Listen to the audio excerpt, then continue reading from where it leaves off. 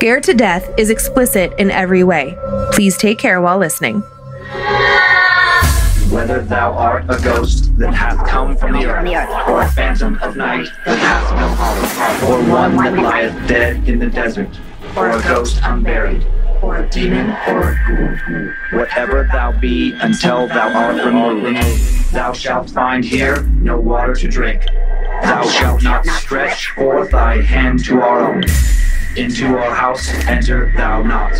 Through our fence break through thou not. We are protected, though we may be frightened. Our life you may not steal, though we may be scared to death. Welcome to Scared to Death, Creeps, Peepers, Robertson, Annabelles. I'm Dan. Hello, Dan. I'm Lynze. You are Lynze, and I am. you have a couple announcements, and then we're into today's show. I don't have a- Correct? I have you have one one. You have announcement. one. Even better. Even better. I feel like you're putting the pressure on me. Do you want me to talk about something else? Nope. Okay, great. I don't want to. Uh, for the month of July, we have decided to donate to the Hill Country Humane Society located in rural Texas. They are serving a population of people who can hardly afford healthcare for themselves. So you can imagine how challenging it is for them to take care of their pets.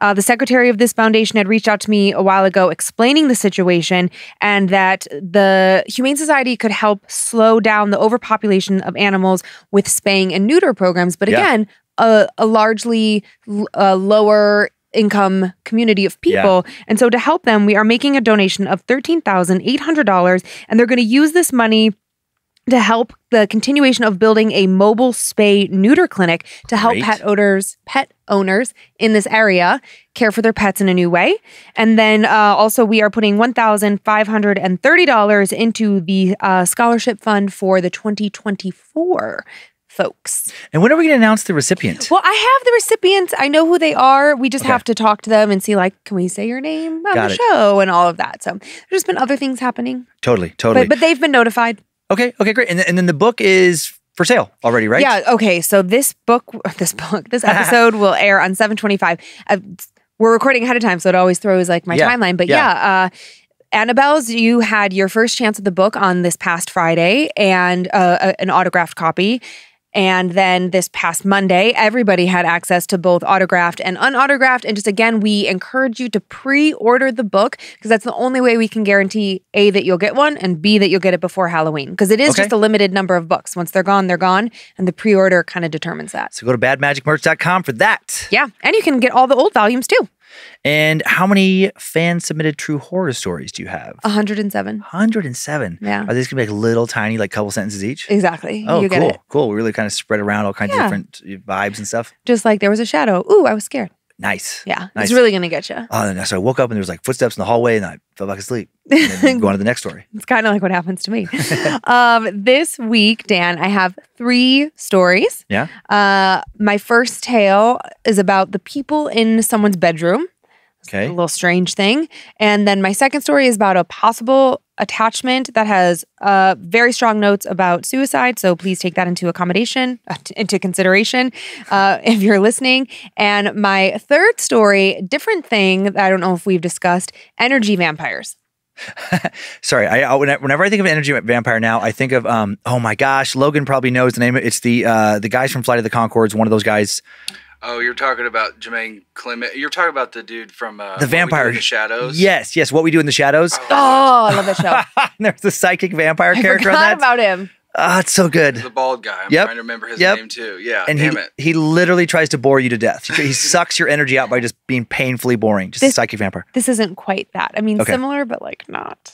Um, I have uh, my traditional two. I have a long one and a short one.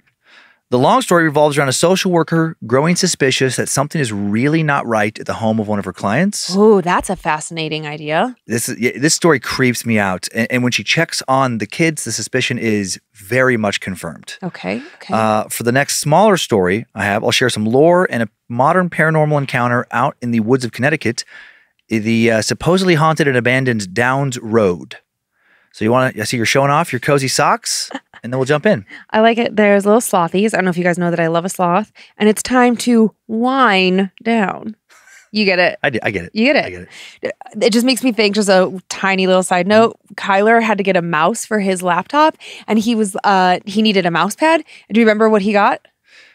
it's wine o'clock somewhere or something like that. It's a wine o'clock somewhere. He he's like, yeah, you just consider- me a middle aged woman. I think it's hilarious. I know.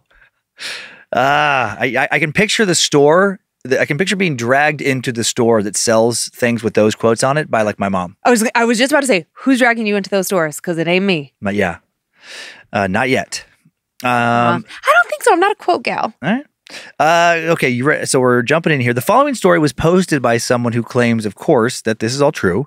Uh, the names were changed because certain details of the story were never made public by authorities, and it would be a huge and illegal breach of privacy. Privacy, Ooh, excuse me, privity. privity for them as a social worker to uh, to share all the following with the names attached. Uh, much of this allegedly was kept out of the news at the time because of the ages of the victims. I would have been more hesitant to believe this story had it not been for all the gnarly potential topics I've considered covering on Timesuck, but haven't, because despite how incredibly gruesome and horrific certain crimes have been, they don't get a lot of coverage for just who knows, whatever reason.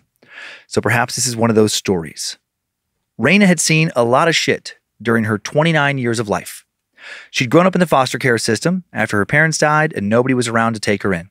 Or at least that was the official story. She found out later, much later, that her parents had attempted a bank robbery.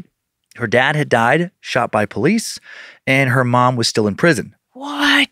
When she was told her parents had died, it had been the 90s, when it was still considered more merciful for social workers to lie by omission to kids in the hopes that they would turn out, quote, normal, meaning they would go get a job, eventually support themselves, have families like everybody else. Get the fuck out of here. Therapy was also not a big focus at that time, nor was even really seriously checking in with the foster kids about their emotional well being.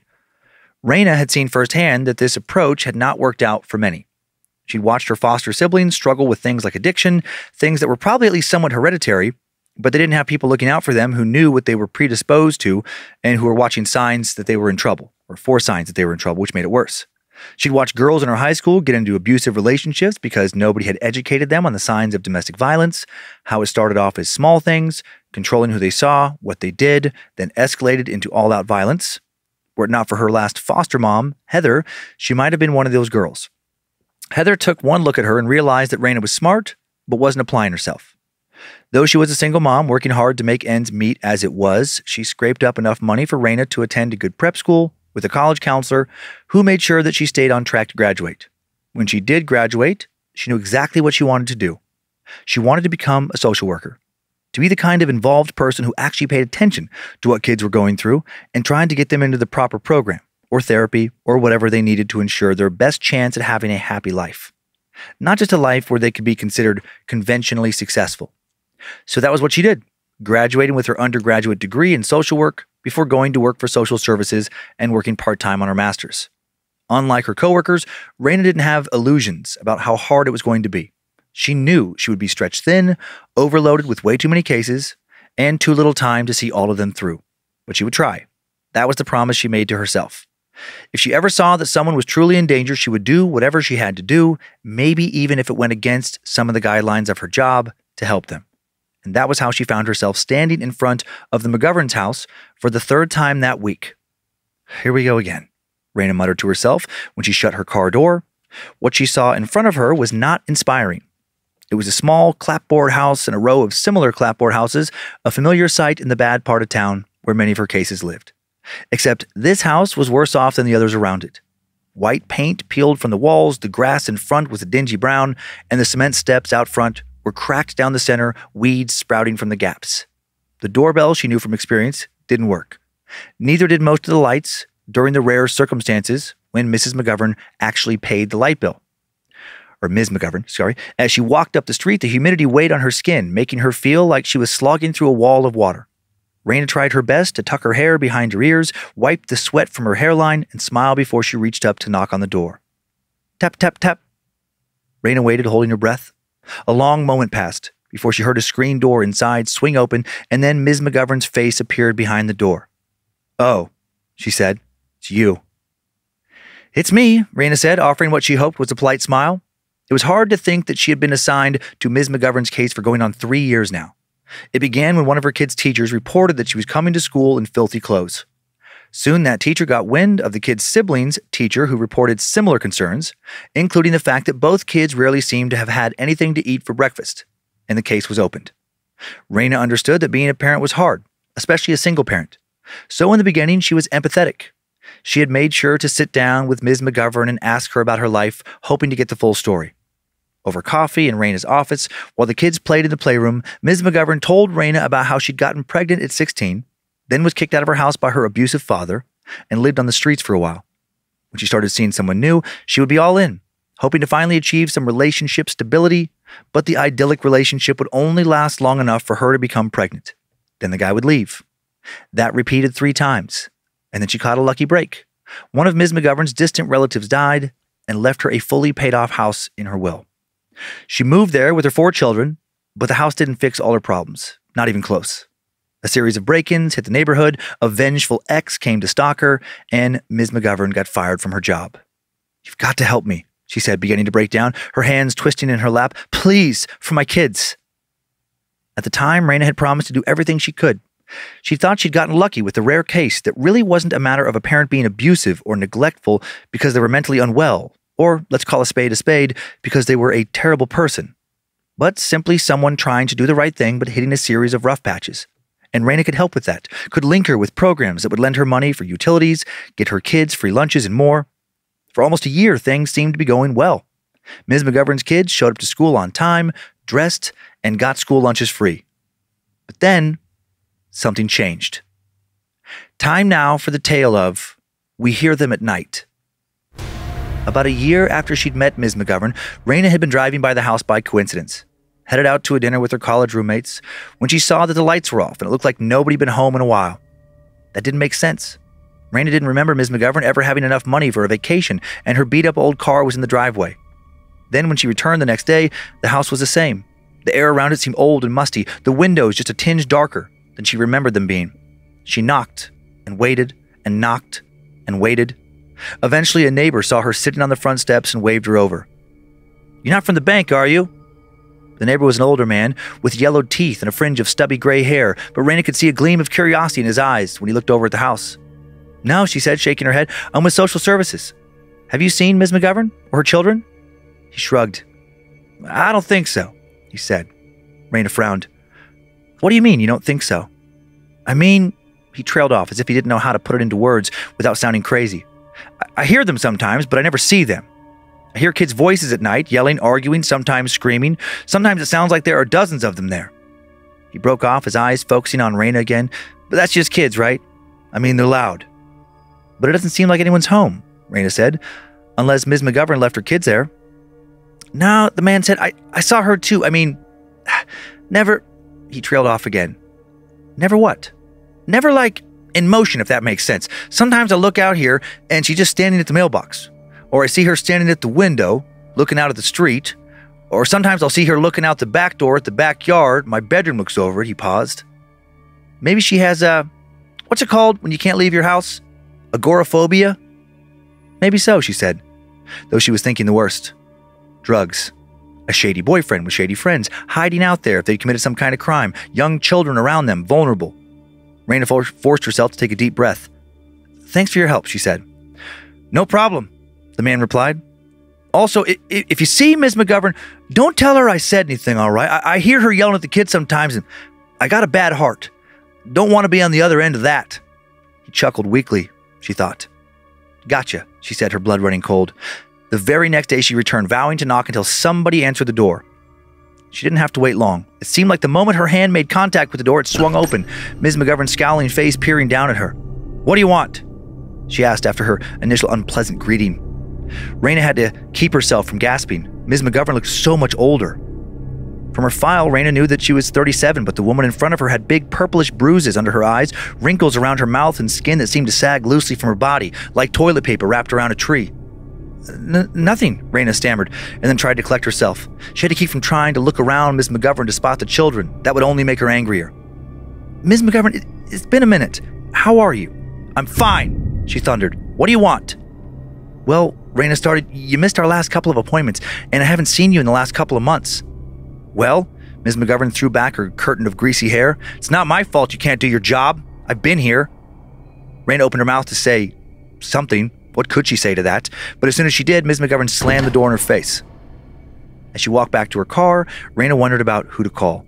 It was clear that something was happening, but what? Ms. McGovern had seemed angry, but not like she was on drugs. There was an intensely clear, lucid quality to her eyes, actually. It unnerved Raina. Across the street, she sat in her car. This was the hardest part of the job, her mentor had once told her. Trying to make important decisions on limited information. One decision could split a family up indefinitely, plunging kids into a system they might not be safe in.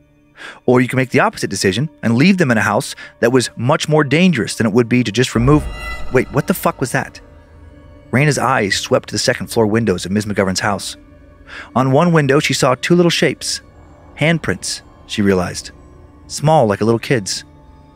Was one of the McGovern kids trying to reach out to her? Slow down, Raina, she told herself. Kids stand at the window all the time. It didn't necessarily mean that they were crying out for help. Whoosh! As Raina watched, the handprints disappeared, like the body had been roughly jerked back. She stifled a gasp, waiting for the figure to reappear. Maybe the kid was playing around with her sibling. But they didn't. And then she thought she heard the faintest scream. Her heart now pounding, she drove away back to her office. She told her supervisor that someone, the police, needed to come over to the McGovern house. Something wasn't right. But her supervisor, a jaded woman named Mary, toughened by her years on the job, too many years perhaps, just gave her a grim smile. Tough day? Raina blinked.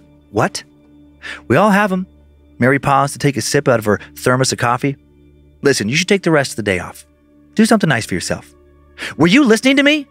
Raina blurted and then felt incredibly stupid. Mary was her boss. She had to be professional. Composing herself, she said in her most controlled voice, I really think something bad is happening with the McGoverns. I think someone should go over there immediately. Mary hesitated and then seemed to give in, maybe just to get Raina off her back. What did the kids seem like? I, uh, Raina paused. I actually didn't see them. Did you hear them? No, Raina said, well, sort of. Maybe it was, I'm not sure. Raina, Mary said, the patience ebbing out of her voice, this is a hard job. We meet a lot of people in trouble, but you have to start thinking with your head and not with your heart. If we barge in there, we run the risk of opening up legal action against us, and we make it harder to come back when there might be a real problem. You remember that we're still trying to help find three children who've gone missing in the last couple of months, right? Raina nodded. She did remember them. Normally, CPS wasn't involved in kidnapping cases, they went straight to the cops. But some of them had had histories with CPS and they were helping provide files. In other cases, it was suspected that a parent may have kidnapped their child during a custody dispute. It had taken up so much of their unit's time the last several months, and the children were still missing, meaning CPS was under increased scrutiny. So you understand that there are more serious things going on in this city than a lady with an annoying attitude. Mary's voice softened and she added, It's not your fault. But these things, but these are things you'll learn at one point or another, and honestly, the sooner the better. But Raina started, though she didn't know how to explain to Mary what she saw. How could you describe the vibe of the house in a way that didn't seem completely ridiculous? How could you describe the rage in Ms. McGovern's face in a way that didn't seem cartoonish? Okay, she said. She did end up taking the rest of the day off, but not to go get a manicure or watch TV. Instead, she went to the reservoir, a little lakeside area she'd walked since she was a teenager when she needed to think. That day it was sunny, families out with their picnic blankets and kites. She watched the dad hoist his kid up on his shoulders, both of them smiling so widely that it hurt Raina to look at them. Why hadn't she had that? Why didn't the McGovern kids have that? Why did she and so many other people seem to almost always have to stand idly by while other kids suffered? No, she decided, stopping in her tracks. She was not going to let something terrible happen today. She was going to trust her gut. She had only been a social worker for a couple of years, but she knew what happened when people stood by and didn't take action. She'd seen the body bags come out of houses, body bags too small for an adult.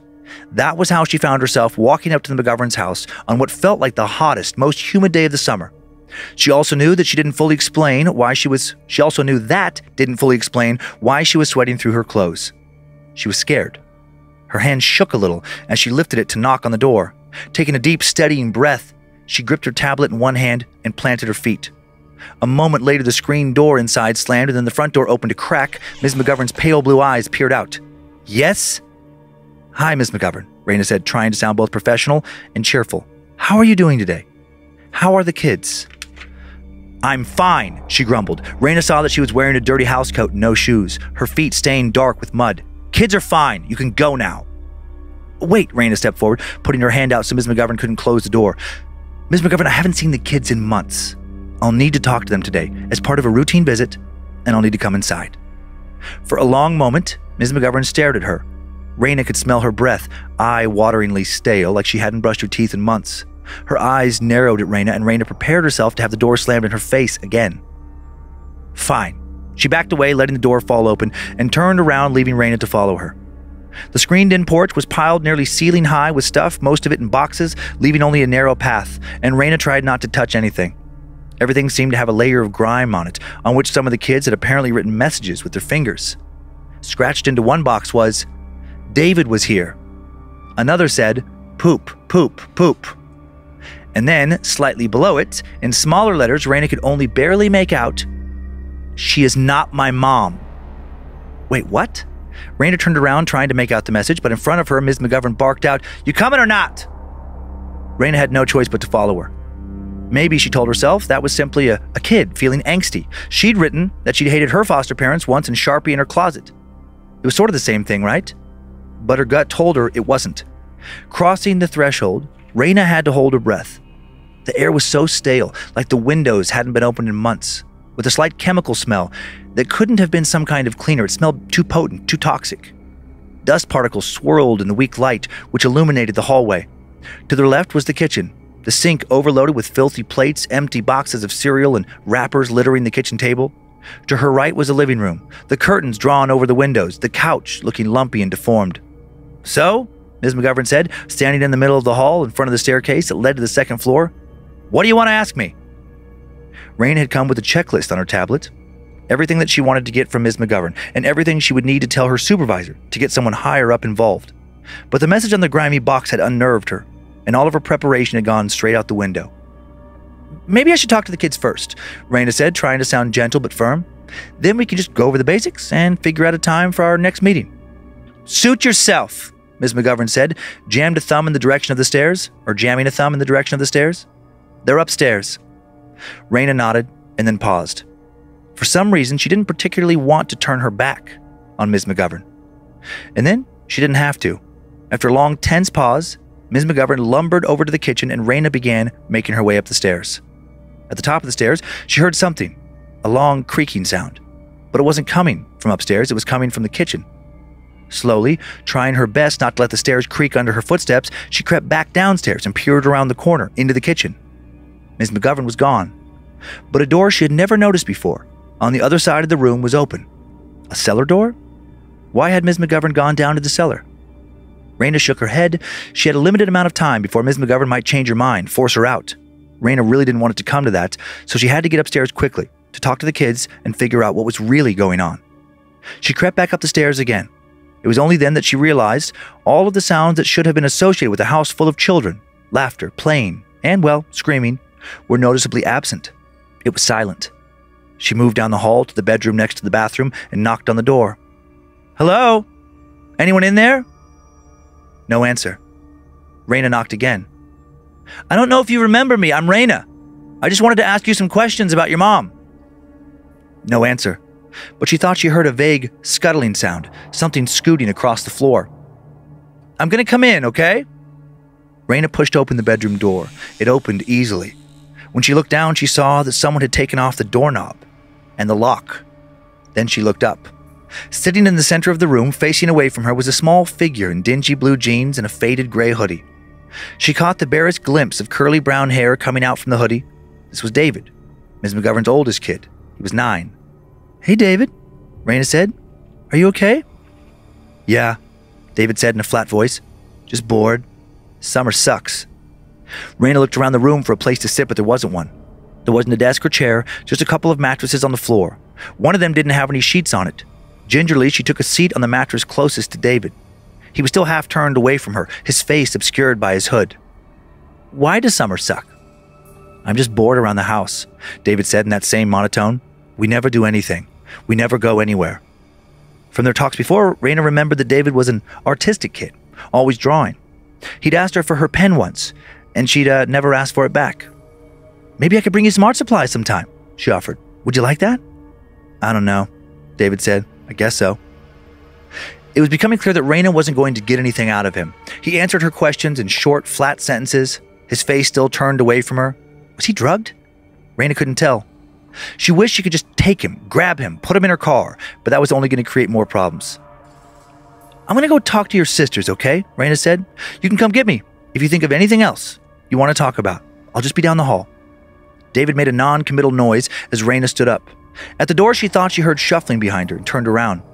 David was standing up, his eyes on her, and for a brief moment she caught a glimpse of his face. Downcast brown eyes and curly hair hanging limply from his head, and then he turned away again. Raina left the room and stopped in front of the next door, hoping that this interaction would be better than the one before it. Maybe, as much as it pained her, she needed the advantage of surprise. So instead of knocking, she simply pushed open the door. Inside, two small figures snapped their heads up, then dropped them down, facing away from her. Both were wearing baggy clothes like David, and had on beanies, even though it was the middle of the summer. The smaller of the two started to cry, and then the larger turned and wrapped her arms around her shoulders. It's not mommy, she whispered. It's someone else. Raina's heart sank to her stomach.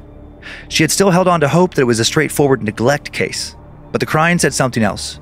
It reeked of abuse. Hey, girls, she said.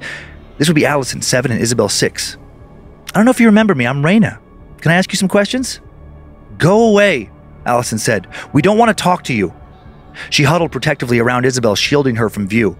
It's okay, Raina said. I'm a safe adult. Is something or someone around here not safe? At that, Isabel started to cry. Raina felt her pulse jump. She didn't want Ms. McGovern to hear and come upstairs.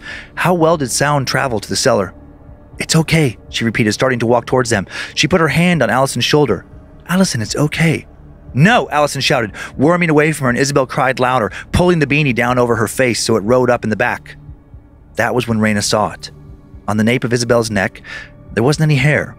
There were little raw cuts where a razor had scraped the skin, and then a curl of hair falling out of the back of the hat, but something was wrong with it. It wasn't sitting on her scalp the right way. Raina gasped. The hair looked glued on. that was when she remembered David didn't have brown eyes, he had green eyes. These weren't Ms. McGovern's children. She is not my mom. Allison, Isabel, she started, praying that Ms. McGovern would hear Isabel's wailing. I know those aren't your names, okay? I know you're not her kids. We need to get you out of here, all right? Raina felt for her phone in her pocket. Nothing. In her distracted, concerned state, she had left it in the car. God damn it.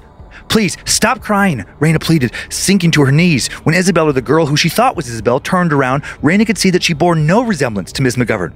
Her skin was lighter and almost translucent white, and she had a smattering of freckles. The hair that was growing fuzzily on her scalp was a bright copper color. I need you to stop crying, okay? We need to get you out of here. The younger girl sniffled and the older girl shook her head. We can't get out of here, she said. She'll just take us to the basement. If we're not good, we have to stay there forever. Raina's heart sank to her stomach. Was that what had happened to Ms. McGovern's actual children? A voice spoke from the doorway, startling her. We hear them at night, David said. He dropped his hoodie, and Raina saw that his scalp was also covered in small cuts. His real hair was black and stubbly, two curls glued on in a messy, uneven way. They banged they bang against the door, and she yells at them to shut up, but they don't stop. He paused, frowning. How could they keep yelling for months without any food or water down there? Raina was speechless. She felt sick. She now thought about the pair of disembodied hands she'd seen pressed against the window, about Miss McGovern's haggard, sleepless face, her muddied feet. We all have to get out of here, Raina said. Run now. The kids took off down the hall, David in front, followed by Allison. Raina scooped Isabel into her arms, but she still needed to find the last child, three year old Carly, or whoever had taken Carly's place. Charging down the stairs, she shooed the three children outside and gave her car keys to them.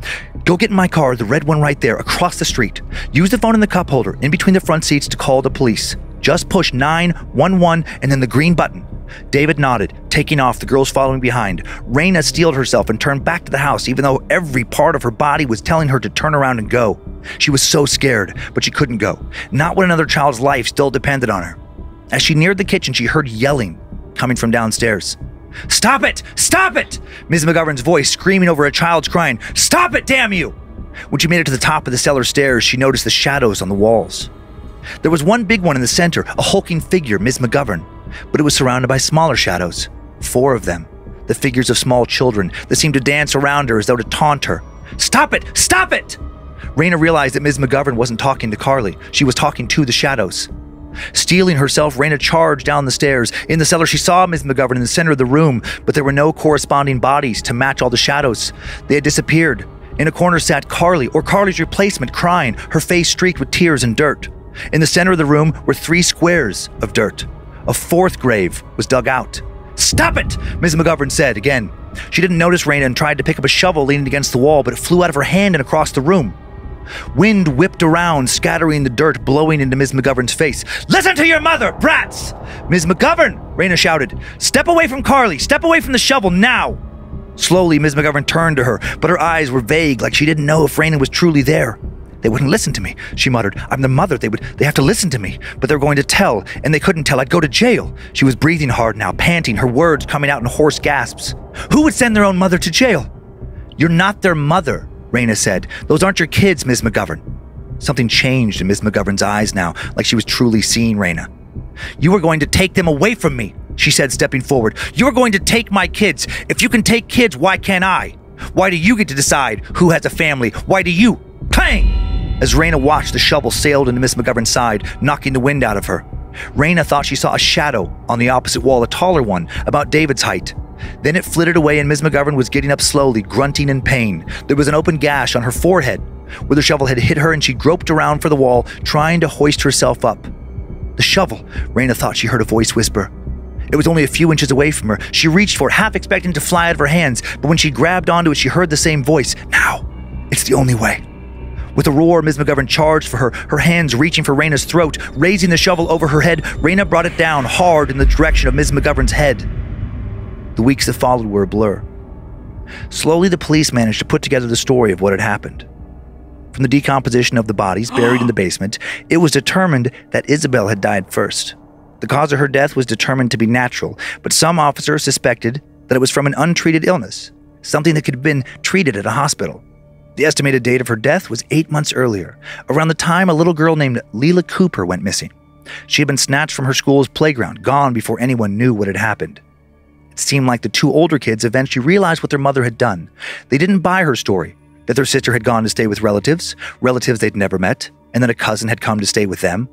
They realized what was happening when months later, Raina started showing up again, and their mother started gluing Isabel's hair to Leela's head to hide what she'd done. Soon after, Ms. McGovern killed the two older kids, replacing them with kidnapped kids. She told those kids, their names were Peter and Shannon, that their parents had been found unfit and that she was their foster mom now. By the time they realized what was truly happening, they had seen the basement. They knew what happened to kids who disobeyed Ms. McGovern, and they wanted to keep Carly, the only kid who hadn't been replaced yet, safe. Still, Peter wrote a note on the grimy boxes on the porch, and it was this note that led Raina to them, that led Raina to the basement, where Ms. McGovern attacked her and Raina smashed her in the head with the shovel. At least that was the official story. Nobody paid much attention to the parts of the story when the kidnapped kids told police officers about the strange shadows that moved around the house at night, about how they heard Ms. McGovern screaming at the shadows just to let her get some sleep.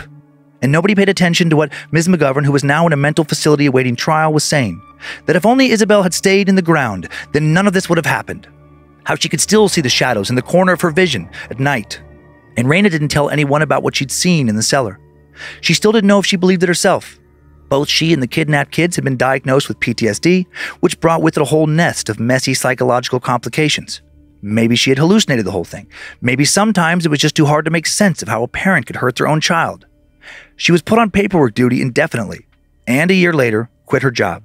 She decided to go back to get her master's in psychology and become a psychologist, working in various schools across the country.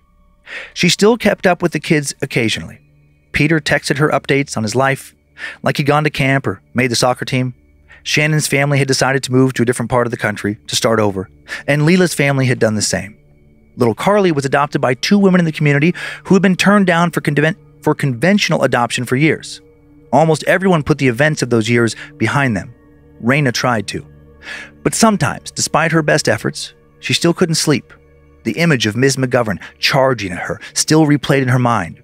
On those nights, she'd get in her car and drive over to her old house. It had been bought by a real estate company and was scheduled to be torn down in the next year. She would sit in her car for a couple of minutes, acknowledging just to herself that something strange had happened there, something that would never be reported in the newspaper, but she knew it had happened, that it counted for something.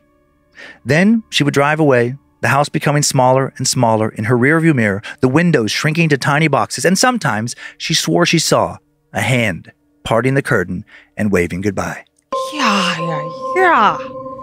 There's a lot to not like about that story. Yeah, intense. Ay, ay, ay.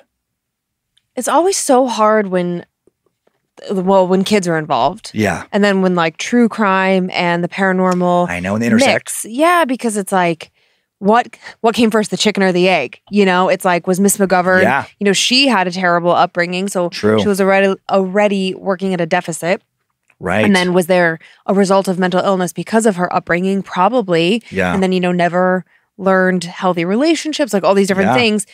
So then she has kids of her own, and it's like, is it the mental illness? Does the mental illness take over? Did she start using drugs again and then murder her child, kill or, or Yeah, you know, yeah. and and then the paranormal kicked in, or like was the paranormal already existent in the just kind of pushing on her. Yeah, and we talk a lot uh, talk Mhm. about that a lot here where it seems like the evil forces of the supernatural because it does it doesn't all have to be bad. Oh yeah, t- totally. Right, Yeah, we but just that's the ones we share here yeah, for the like most part. the the dark Yeah. parts of it seem to really prey on people at their weakest, most vulnerable time. So Yeah. if you are someone who is struggling with your mental health and then you're living in a situation like a haunted house, like how do those two things intersect and how does that make exacerbate yeah. existing problems? hmm Man. Yeah, this, yeah, this story messed with me. It, it, it just, it just, I don't know. It just felt so, I don't know, so real. Yeah. It's, it's as crazy as it was, and I'm like, man, what a terrible thing. Made me think about like going to houses like that. Like. Yeah.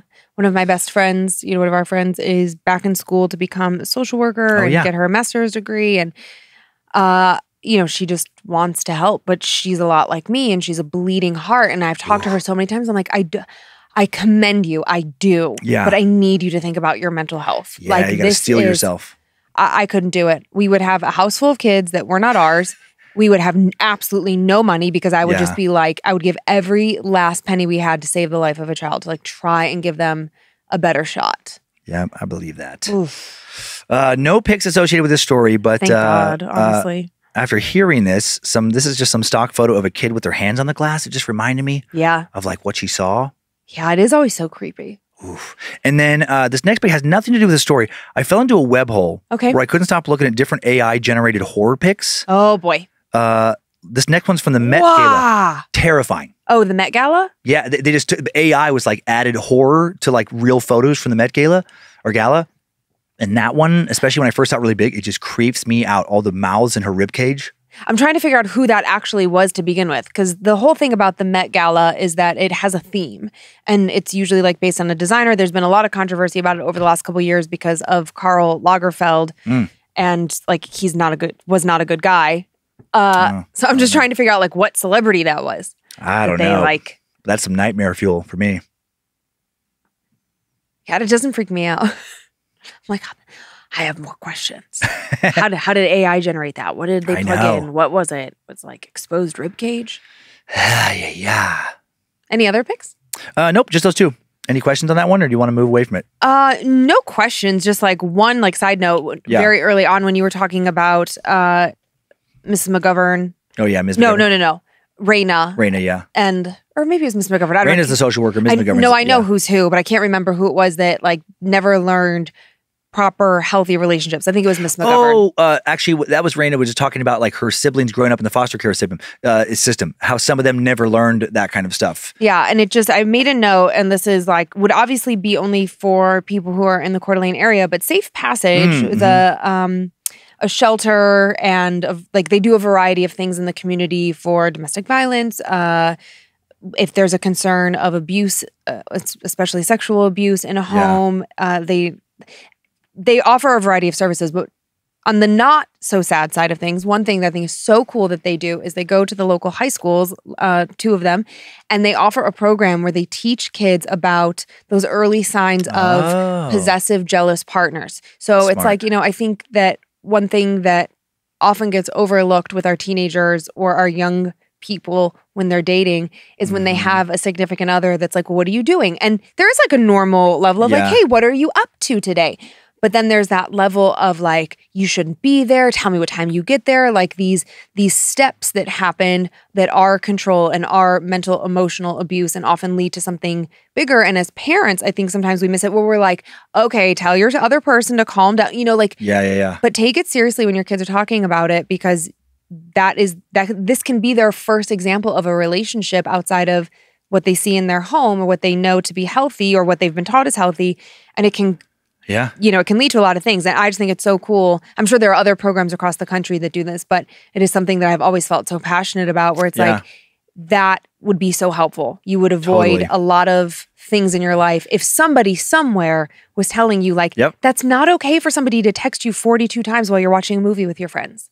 That's not okay. I don't want I don't want to bog down like this with like non horror stuff, so I'll just gloss over this fast. But we were just talking on this uh, the Secret Suck we just recorded, Yeah. which is be several weeks ago now by the time this comes out. Oh, sure. And we were just talking about, or I was mostly going off uh, a lot about how I just wish more things, so many more things were taught in schools.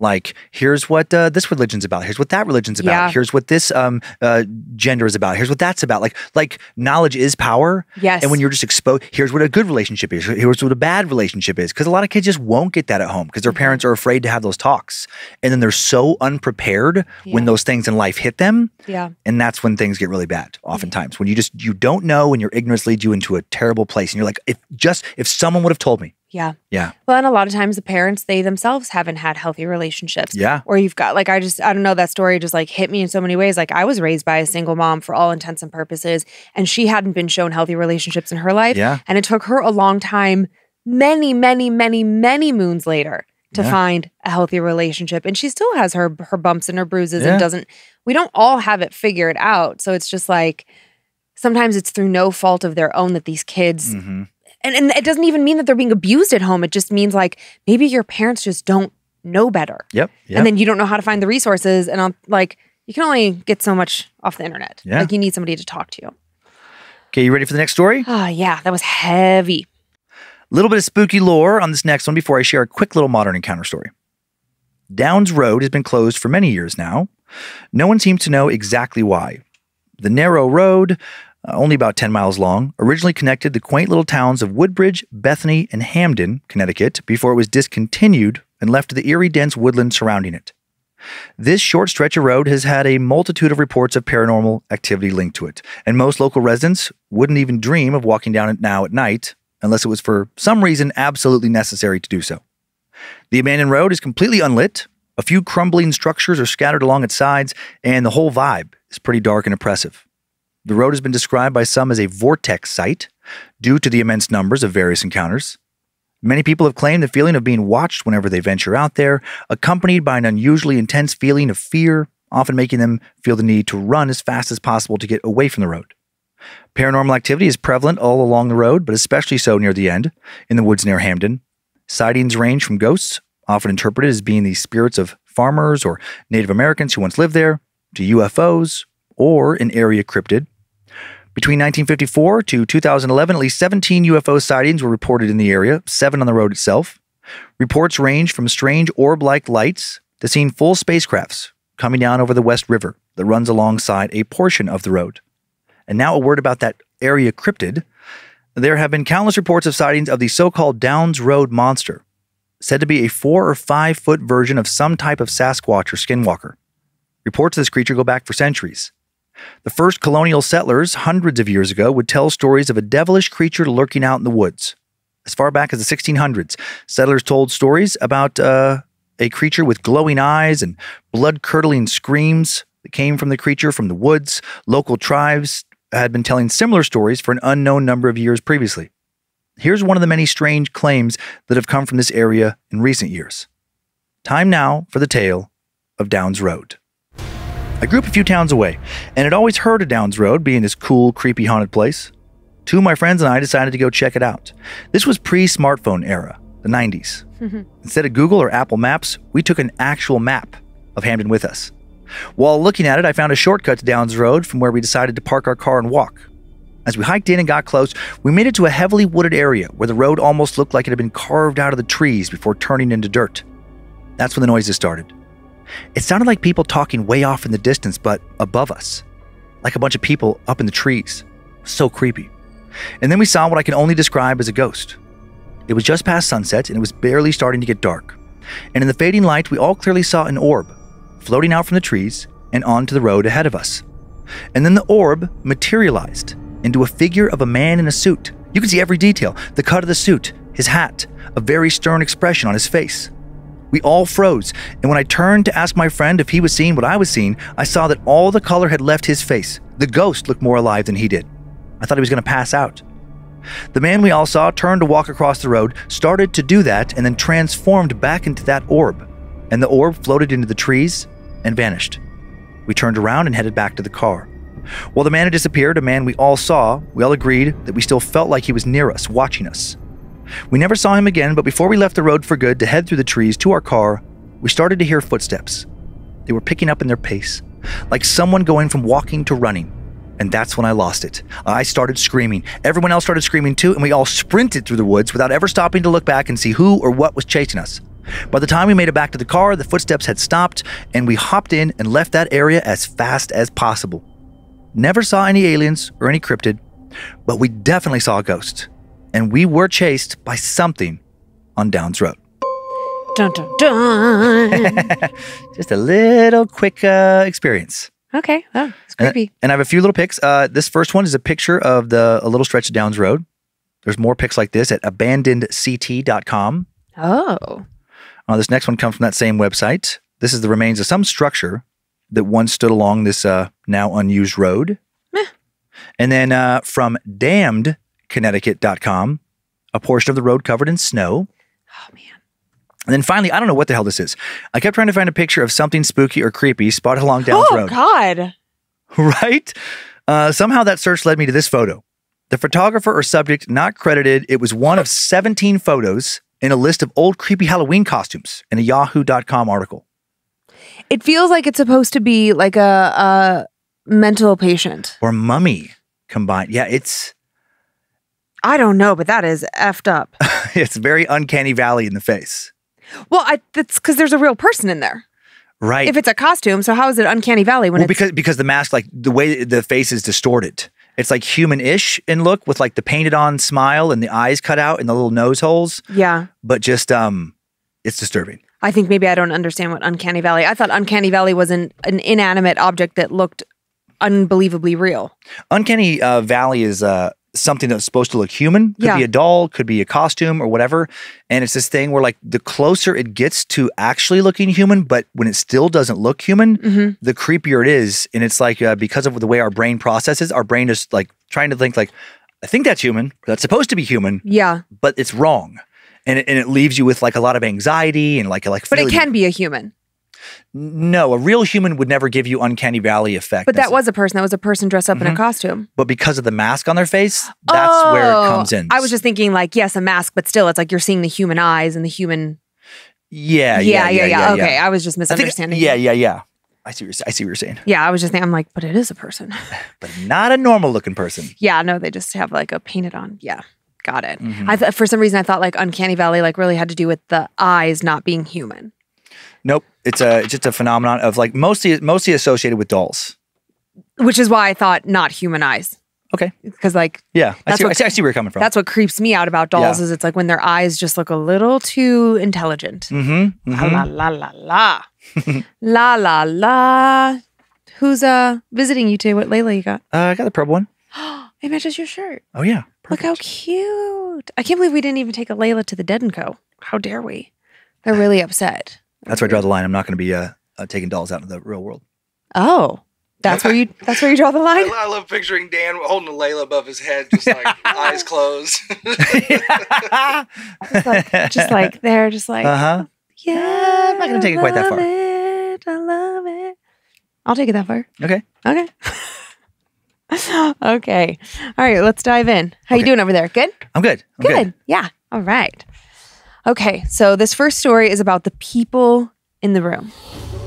My story starts when I was about 12 or 13.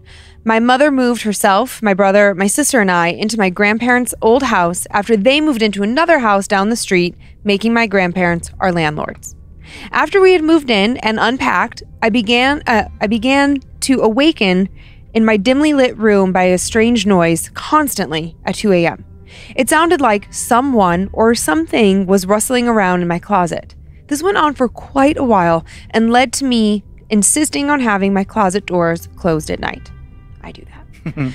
On one occasion of being woken up by the sounds in my room, I awoke to see a group of people in Victorian clothing standing around my bed staring at me.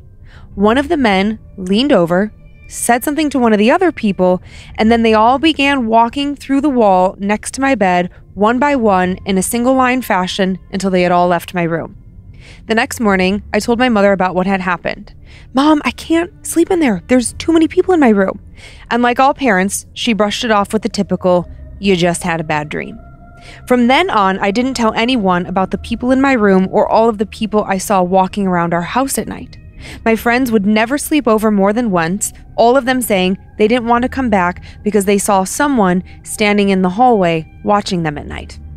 One time, I had a girlfriend over while everyone else was out of town to watch a movie, mm-hmm. and she was walking from the restroom in the hallway past my room when I heard her scream. She came running into the living room crying and shaking. She said that as she walked past my room, she had heard someone calling her name Valerie. She went into my room thinking it was me, but instead found some other guy standing there. Needless to say, she never came over again after dark. Many years later, after I had moved out, I was visiting my mom in this house. My sister was also living there with my two nephews. My mom and I were in the kitchen talking late one night when my then five year old nephew stumbled sleepily into the kitchen and proclaimed, I can't sleep.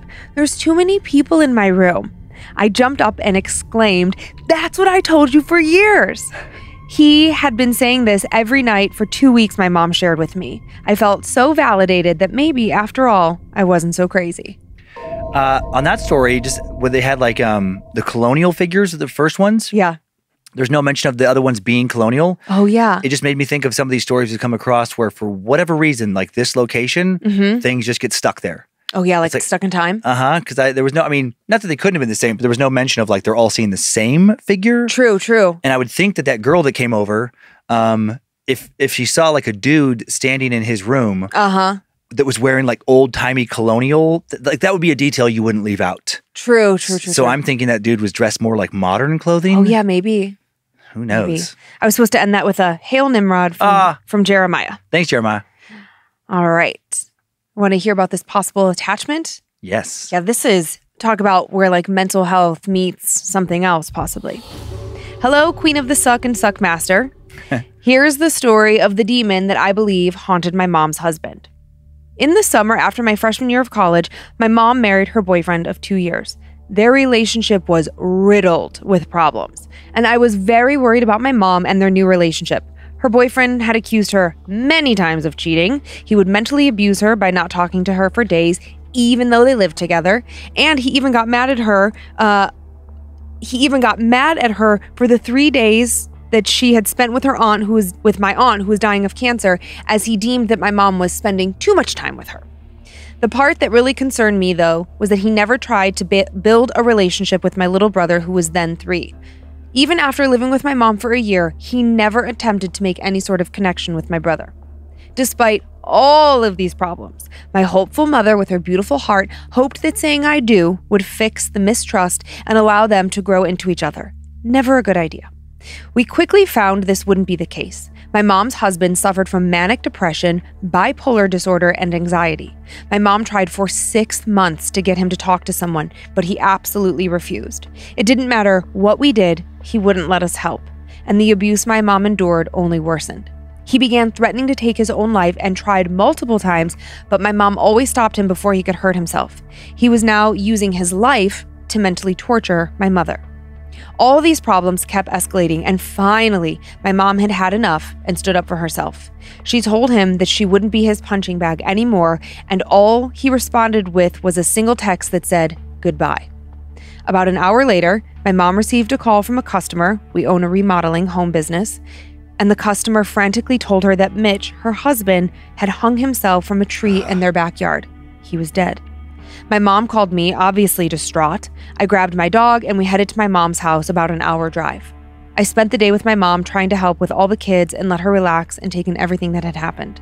That night, I had to sleep with my mom in her bed because I no longer had a room in the house and am too tall to sleep on the couch. This meant I had to sleep on her husband's side of the bed. Creepy, but better than the floor. We went to bed, and I quickly fell asleep as I was completely wiped out from the day. I immediately started to have this horrible nightmare. In the dream, I was lying in my mom's bed. She was asleep next to me, and the TV was playing, and the bathroom door was open. It was pitch black dark in the bathroom, and I saw this dark shape start to take form. I could feel it get extremely cold, and then it stepped out of the bathroom and into the light of the TV. It was a very old, decrepit woman. She had something inhuman about her. She stared at me and was breathing heavily as she walked toward me slowly. I was so scared I couldn't move, and she began to whisper, He was mine. He was mine. He was mine. Over and over, louder and louder until she was screaming it, and now she was standing on top of me. He was mine! Her face was only inches from mine. I noticed that she was physically rotting, and I could smell death on her. She reached for me, grabbed my wrist, and pulled me with all her might toward the darkness of the bathroom when I woke up suddenly. I was in a midway fall onto the floor from my mom's bed. I had been physically pulled out of the bed. I was in a cold sweat. I looked up at the bathroom and I saw a shadow sink into the darkness. This was the only, this was not the only encounter, but the first with this thing. I told my mom the next day, and she and I had come to the conclusion that whatever that thing was, it was attached to my mom's husband. After that night, we prayed over the house, but weird things continued to happen. Doors would slam suddenly on their own, and pictures of my mom and her husband were found broken around the house. The day the, fu- the day of the funeral had arrived. It was a hard and incredibly emotional day for our family as well as Mitch's. When we were graveside, about to bury him, we were all sitting down when an extremely cold breeze began blowing like crazy, which was super weird because it was May in Texas. It was a very warm and still day. They continued with the burial, and once they had packed the dirt, the cold wind immediately stopped. We have never we have ha- never had any other experiences with this negative entity, thank God. Though my mom does believe that her late husband still comes to visit her from time to time, or at least we hope it's him. Thanks for reading. Stay spoopy. Sincerely, Jackie. Thanks, Jackie. Were you making some notes over there? Yeah, so Mitch uh, is the late husband slash stepdad. Yeah. Right. And that's uh that's terrifying that there's like this entity, it sounds like in this story, that it seems to not only have pushed this person into taking their own life, but then after they're dead, still terrorizing the house Uh-huh. and showing up at the funeral and stuff. It's like that that's different. Because usually I feel like when these entities like push or go after somebody that bad, like when it's don't maybe I'm mis- misremembering, but I think it usually kind of ends then. Oh, sorry. Like when that person dies, Yeah, it's over. of. Yeah, I Or I guess maybe, or, or well, sometimes it's like I guess it sometimes it stays in the jumps to- house. yeah. Yeah. and it can it can like jump to another person. but then why? But then uh, maybe the difference is also coming to the funeral, which is clearly, uh, you know, obviously outside of the I know, house. isn't that weird? Or maybe it's not the entity at the house or at the funeral. Maybe Oh, it maybe was that Mitch. was Mitch, Mitch's ghost or something. Yeah. I Yeah, don't know. Then I always wonder, like, what is the backstory there? I know. Like, uh, totally random, maybe like totally random target, or uh, did Mitch have some weird encounter that he just, you know, felt silly sharing or something, Mm. and then and then like that that led to that thing, kind of uh, uh, attaching itself to him.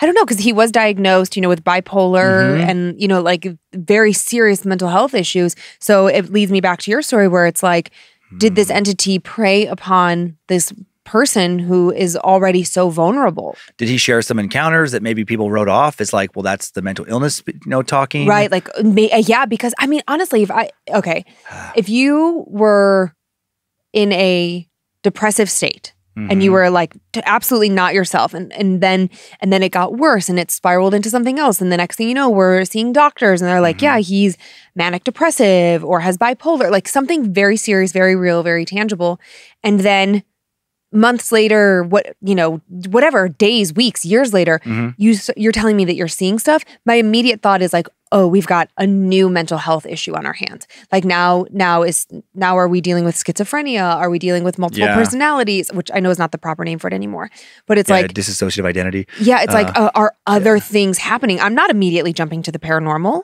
So like this poor guy like was he dealing with some very serious very real stuff? And then there was paranormal elements to it that made it worse That's such a that's, uh, such a scary, you know, possibility. If Totally. i- i- if if it's real that you could be genuinely quote unquote losing your mind, like like uh-huh you're trying to get your medication figured out, like regularly, like you're dealing with some real chemical things going on in your brain, and then you know that whole like kicking somebody when they're down, Yeah. and you're already struggling with that, and then some other thing that can't be cured by modern science and psychiatry, like is also in the mix. hmm Ah, man, it's like you've been cursed.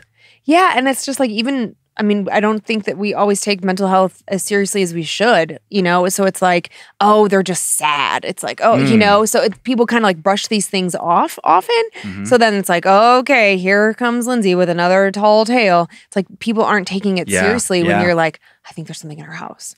I think that has been done in horror movies, but it is, you know, I'm sure will be done more because it is such a scary thing of like you're seeing things because of mental illness, like Mhm. schizophrenia or something. You're having true like um uh, you know, hallucinations. But then every once in a while, one of the hallucinations isn't a hallucination Oh my God. and it actually is real. And you can't tell the difference between the hallucination or some scary fucking monster that actually is actively harming you.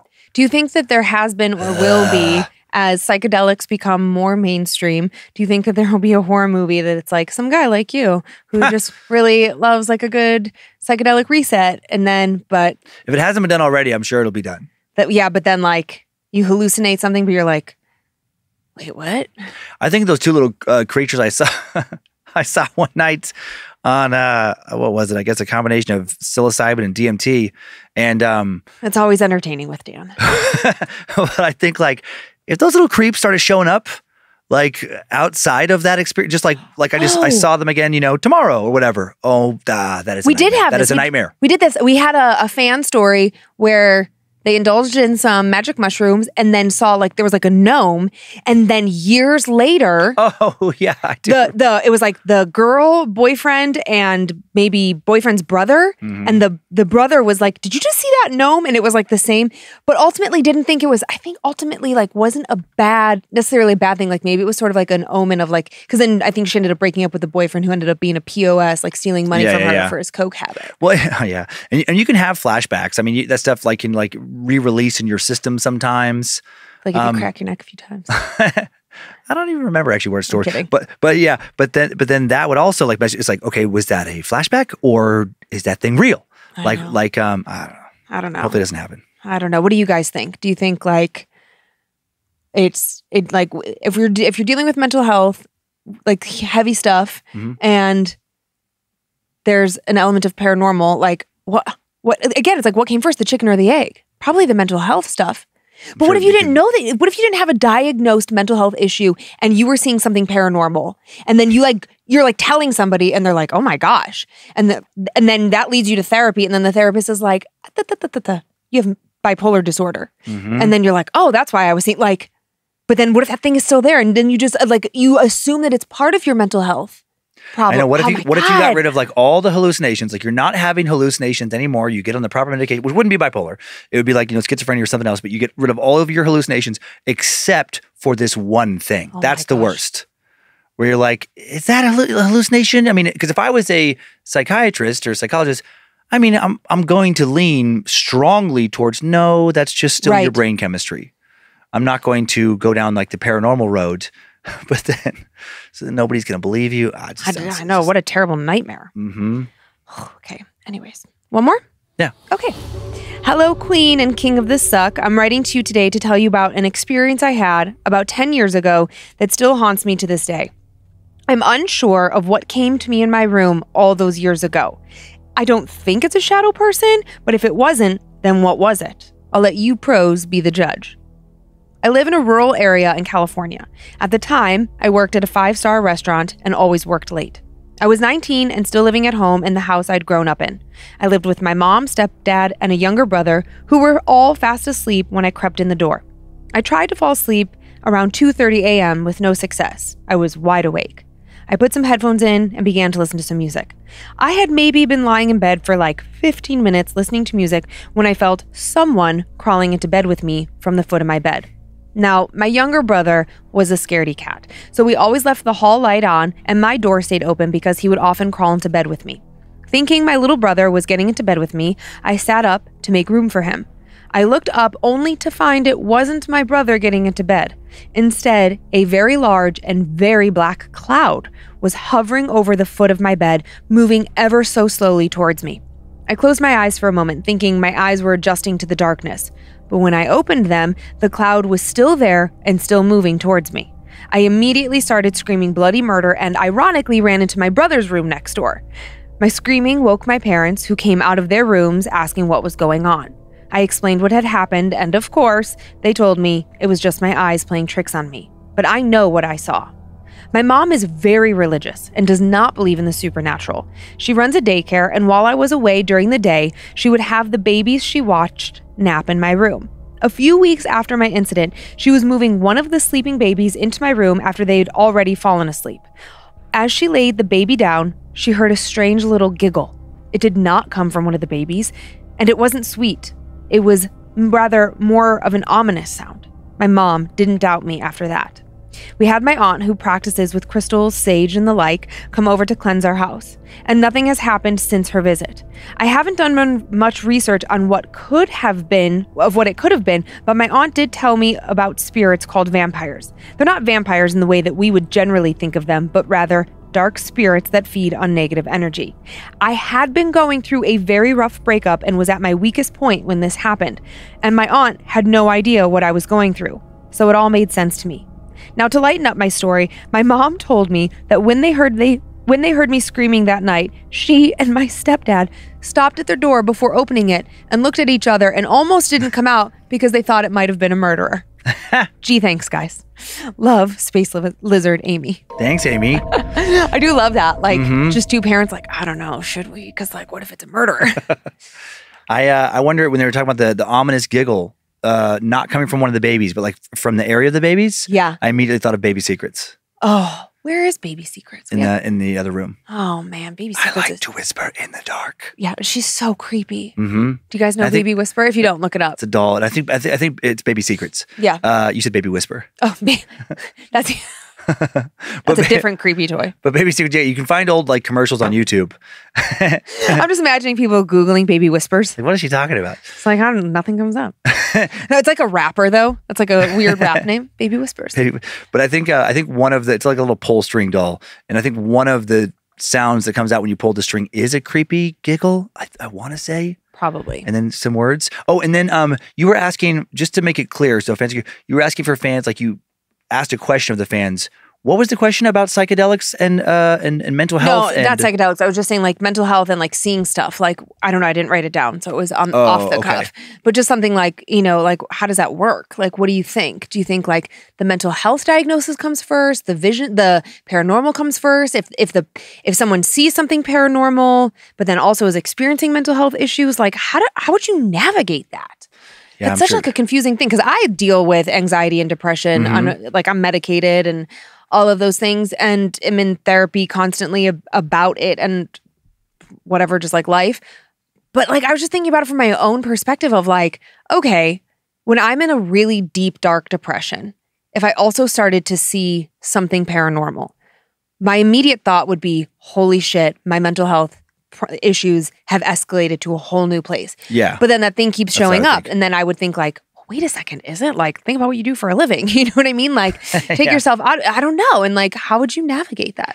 I'm sure it's different for every uh, situation. Yeah. And where would you want people to, um, when we do ask questions on the show, I was just thinking to remind people, is it info at scared to death podcast.com? It is, Dan. Okay, just making sure. Thanks. Thanks for bringing it up. Yeah, do you want to uh, thank some Annabelles or do you want me to? Uh, I can go first. Sure. Okay. I'd like to thank the following Annabelles for their support on Patreon and beyond Jacqueline Hanna, Seven Holland, Kim Kelly, Zachary Irby, Cassidy Bowen, Nathan Brown, Samantha Mouchette, Christine Jorison, and BB Bex. BB Bex. BB Bex. I'm still thinking about one of the names from last week that I uh, I can't believe a week a week later just Oh. flew over my head. Sir Vix Masher. Uh huh. Did not connect it. Ah, man, we were laughing But about that job. so hard after the recording. Uh, I would like to thank the following Annabelles Justin Stewart, Meg Ibsen, Sabrina Randall, Ashley Kidd, Anthony Bailey, Tyler and Holly Olson, Mari. Hey, hey, hey, it's Matt Albert. That's That's pretty funny, Fat Hey, Albert. hey, hey. Hey, hey, hey. Uh, and then Zach Robbins and Kelsey Coast Kostriva. Coast Triva. Good job. Yeah, all right. All right. And then I have my spoopy, spoopy shout outs to Edward from Elsa. Happy sixth anniversary. To Marcia from your brother Micah. Happy birthday. To Aubriana from your mom and dad. Also happy birthday. To Ella from your mom, Alana. Happy 10th birthday to my spooky daughter. I hope you have the most amazing birthday. I love you so much. And to Henry from your wife Sharon and all of us here at Scared to Death, we know life has really thrown you for a loop. We are so proud of you for keeping your head up and working hard to find this new version of your life. Henry, you and I talked about this off air. Henry was paralyzed in an accident uh, last September, and it's just so crazy. Just like Dan and I have been, you know, we all have these moments of like gratitude in our lives and just like we all take for granted the ability to just like get up and go to the bathroom in the morning and just like move throughout our lives and our days. And sometimes that changes in an instant through no fault of your own. And it's crazy. I don't know how you guys are doing it, but I don't know. You and your wife sound like pretty awesome people. They have a couple mm-hmm. kids that have their own challenges. And it just sounds like as a family, they've just like pulled together and like, okay, we're going to do this now. I know st- stories like that, or when I meet people like that, it, always I'm like, oh my gosh, I'm such a piece of shit. When I, when I- when I think about like what I get frustrated with, or what can like what what I will allow to ruin my day, and it Mm-hmm. really is allow, I'll, I'll just like my brain will just stay there, and then later I'm like, what was I? Oh, because I I don't know. Um, there was some episode I got negative feedback, like like the most trivial thing I think in the grand scheme of life. I'm just starting to like these little things. Like I'm annoyed that the person in front of me didn't go when the light turned green immediately. Right, How right. dare you? And it's like, My my car is going to be in the shop for an extra day. It's like, but yet I live in a household with like there's another V. It's like it's nothing. it's nothing. It's a it's the most minor inconvenience where I'm like, ugh, ugh, ugh. Poor me, my life's so hard. Yep, and, and meanwhile, there is some you know dealing with a lot more things, you know, physically or or, or mentally or financially or whatever it may be, Mm-hmm. who are also like, you know what, I'm happy to be alive. Yep. I'm happy to be playing the game. Happy to be here. Going to enjoy every minute.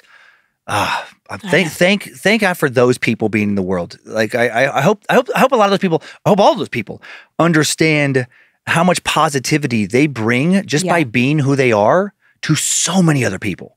I know the power of positivity and positive thinking. So contagious. It is so contagious, as is as is negativity. I know it can go either way. I know. Like you got to choose. You gotta you gotta surround yourself with a high vibe tribe.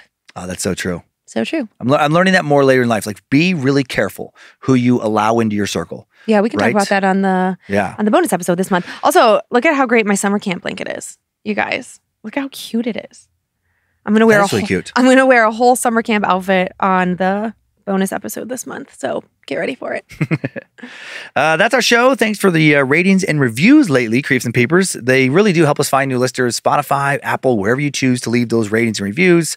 It uh, it keeps us current, you know, keeps kind of like a Yelp review, and it does help us find uh, new listeners and continues to do so. So we are so appreciative. yes, thank you so much. Thank you for continuing to send in your personal tales of terror, which adds so much to the show as well, to my story at scared to death podcast.com. You can email us for everything else, info at scared to death podcast.com. Thanks to Logan Keith, Tyler C. for their work on social media, and to Logan again for running badmagicmerch.com. Thanks to Logan Keith for producing and directing today, Zach Cohen for custom soundbed creation, Heather Rylander for organizing the My Story emails, and to our book editor, Drew Atana, for work on the now released book number four. Thanks to producer Sophie Evans for finding the first tale I told today, and Sarah Finch for finding the second. Subscribe to Bad Magic Productions on YouTube if you'd like to watch the show. Follow us on Facebook and Instagram if you want more content. See pics that accompany the show. I thought that AI one was horrifying. And that's Scared to Death podcast. I love that it just didn't bother me. I was like, okay. I know, but then the other one bothered you so much more. And I thought that one was like, yeah, scary, but not as scary. It's funny what hits us all differently. Yeah. I just thought the first one was more like artistic. Mm, yeah. Uh, we have a private Facebook group, Creeps, Creeps and Peepers. So many horror lovers in there to meet. And you can follow us on TikTok at Scared to Death Podcast for show highlights and more. And if you don't want to hear any ads, if you want monthly bonus episodes and more, check out our Patreon and enjoy your nightmares, Creeps and Peepers. Hope you were scared to death. Bye. If spirits threaten me in this place, fight water by water and fire by fire. Banish their souls into nothingness and remove their powers until the last trace. Let these evil beings flee through time and space. Evil may pass through, but hath no home here within, scared to death.